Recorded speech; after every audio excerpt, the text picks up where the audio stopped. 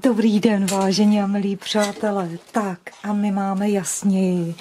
My máme u krásného chroustíčka výsledky vyšetření toxoplasmózy a to výsledky laboratorní, protože když jsme chlapečka přijímali, tak bylo zjištěno vlastně, že eh, je eh, chlapeček eh, nesmírně jakoby neurologicky, ono to takhle nejde vidět, ale když jde, tak on udělá tři kroky, spadne, tři kroky, spadne. A, a říkali jsme si a věděli jsme to i od moc hodné slečny, která kočičky chroustíka berušku krmila, tak jsme se dozvěděli, že opravdu ty kočenky nejsou v pohodě, že jsou obě dvě staré, starší a že zkrátka dobře tady chroustíček má neurologické potíže.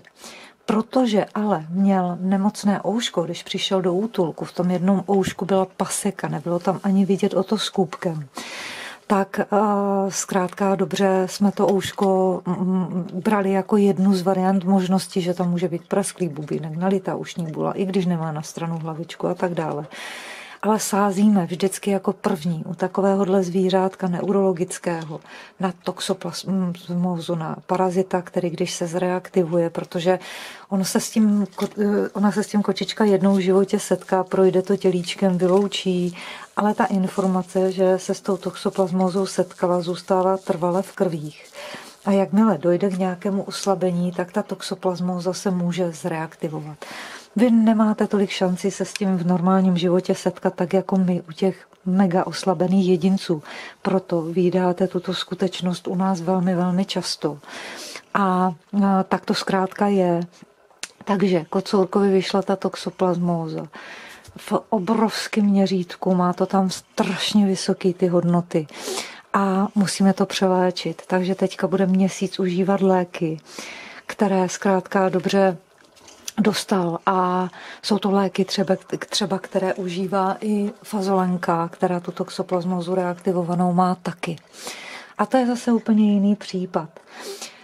Chroustíček je úžasný kocourek, pevně věříme, protože vždycky se může namanout něco, něco dalšího a tak dále.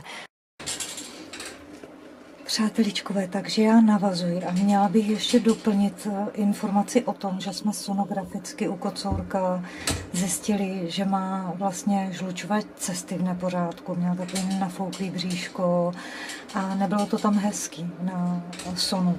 Takže to byla další věc, kdy chroustička je nutné nějakým způsobem jakoby uh, dávat mu šetrné krmeníčko, uh, sledovat jej a zkrátka dobře nějakou dobu vždycky trvá, pokud toto zvířátko má zvládnout srovnání celého toho tělíčka.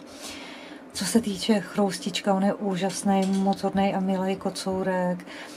Na vstupní krevní zkoušce tam měl i obrovský zánět a to tam může souviset s mnoha faktory. V oušku má obrovský, měl obrovský zánět a v bříšku a, a tak dále. Takže jsou to takové velké záležitosti a my si moc moc přejeme, aby byl chlapeček v pořádku, aby se mu dařilo, aby si užíval živůtek a mm, ještě tam má o, vlastně v tlamičce ošklivé zoubky, ale to není řešení na pořadu dne, není to teď k řešení.